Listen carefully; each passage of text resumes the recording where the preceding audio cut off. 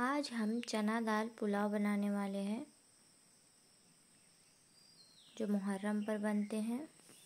देखिए, यहाँ पर मैंने एक कटोरी चना दाल लिया था, इसे कुकर में डाल दिया है और थोड़ा सा पानी देकर इसे हम दो तीन सीटी आने तक पका लेंगे, ताकि ये फिफ्टी परसेंट तक गल जाए और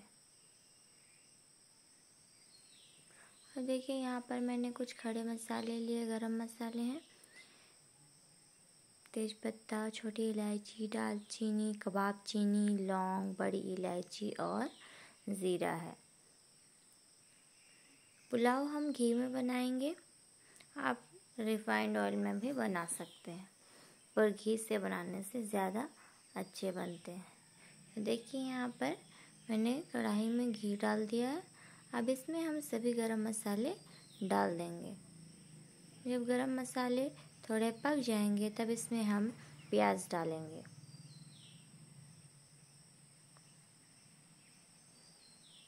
प्याज डालने के बाद हम प्याज को भूनेंगे। अब इसमें हम तीन हरी मिर्च डाल देंगे।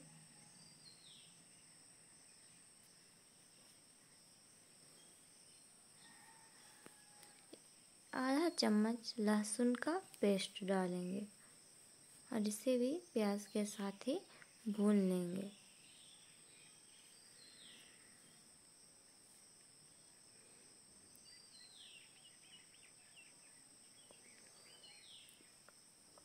देखिए, प्याज जो है वह भुन चुका है तो इसमें हम अब चना दाल को डाल देंगे और उसे एक दो मिनट के लिए इस तरह से भून लेंगे।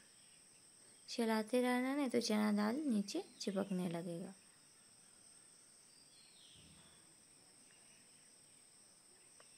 एक दो मिनट हो गया अब इसमें हम पानी डाल देंगे।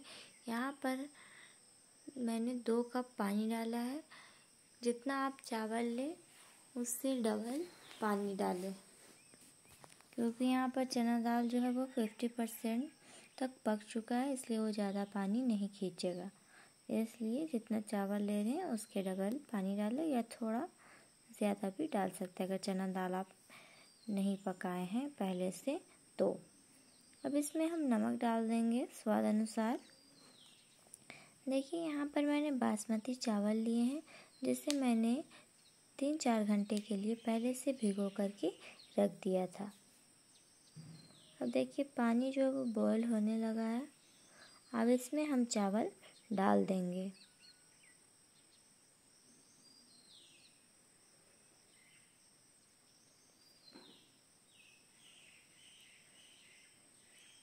चावल डालने के बाद इसे हम चला करके ढक देंगे और हाई फ्लेम पर इसे बॉयल होने तक पकाएँगे। देखिए, अब ये बॉयल होने लगा है। और पानी भी काफ़ी सूख चुका है। अब इसे हम लो फ्लेम पर बनाएँगे। इसे जला करके ढक दें और लो फ्लेम पर अब बनाएँ।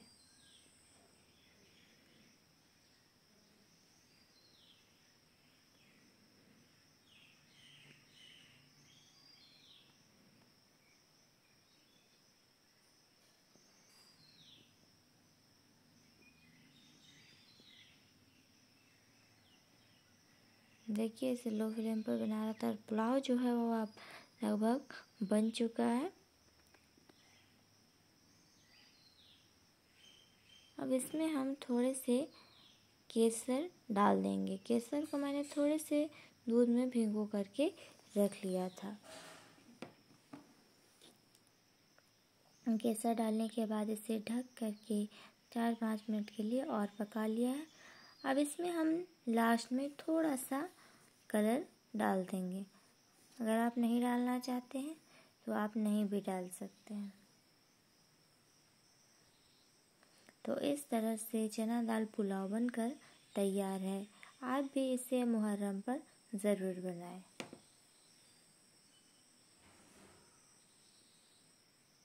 ये बहुत आसानी से बन जाते हैं और खाने में टेस्टी भी होते हैं।